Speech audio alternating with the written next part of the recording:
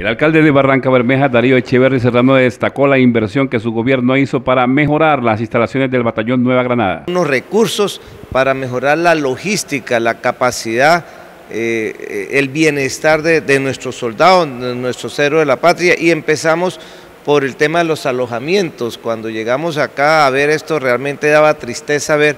en qué condiciones estaban durmiendo nuestros soldados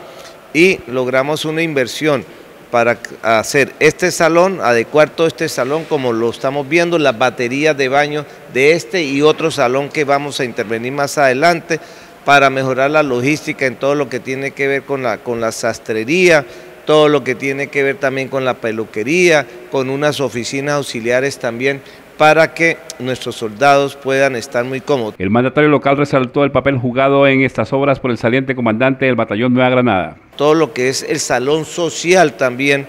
de, de, los soldados de este batallón y después de 20 años pues se toma la decisión de mejorar las condiciones